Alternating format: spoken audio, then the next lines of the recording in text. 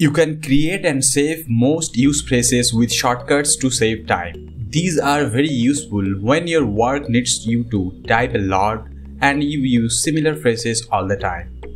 This is called Personal Dictionary on Google Keyboard or Gboard. If you are using some other keyboard, then you will have a similar option to create and save shortcuts.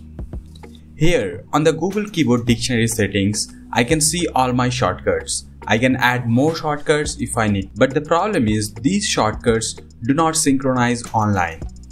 You only have the export option. This means if you reset your phone, you will not have access to these shortcuts anymore.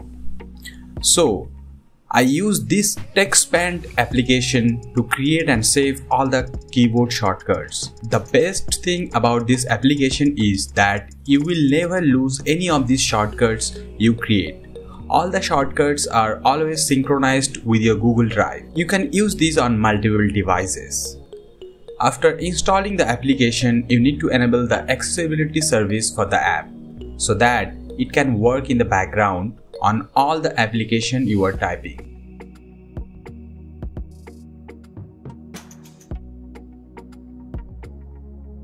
Under the settings menu, you can see the sync settings. You can set the preferred Google account and the sync interval.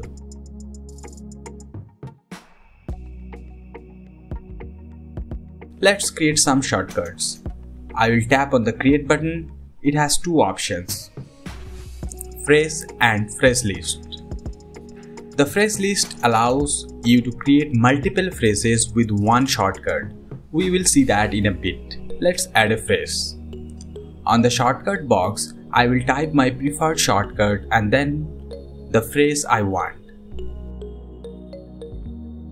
That's it. It saves automatically. If I search with the shortcut, I can see the newly created shortcut. Let's add some more shortcuts.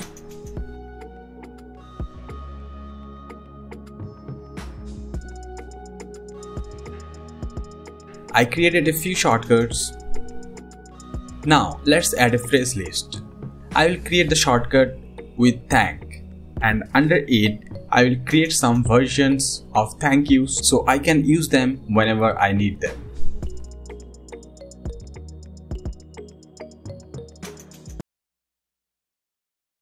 Now, let's try the shortcuts. When I type a shortcut, you can see the little pop-up here. And when I tap on it, it applies. You see the pop-up whenever I am typing a shortcut. Now, when I type the phrase list shortcut, you can see the pop-up with the list icon. Selecting this will display all the phrases under the shortcut. I just need to tap on the one I want to add. You can see all the version of the thank you I created earlier. With text shortcuts, you can also create shortcuts for an image. On this option, instead of a phrase, you need to add an image and when you need it, you should type the shortcut.